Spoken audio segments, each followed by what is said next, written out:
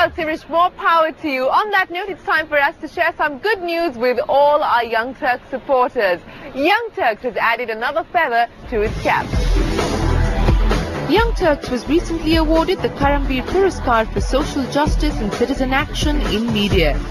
Shireen Bhan, ladies and gentlemen. Please put your hands together. We would like to thank our social entrepreneurs whose pioneering work inspired our series Change Agents and the Heart of Business.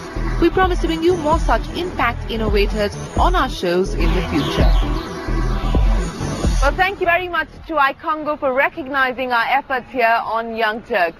On that note, it's time for us to make another very special announcement. As the year comes to a close, Young Turks brings you Young Turks Top 10 for 2010. You, our audience, is going to get a chance to decide who will be the top 10 Young Turks for this year. We've got a poll going and we will tell you who the nominees are. All you need to do is log on to our online partner, yourstory.in, to catch the details. We'll see you next week and don't forget to log on to yourstory.in and draw your votes.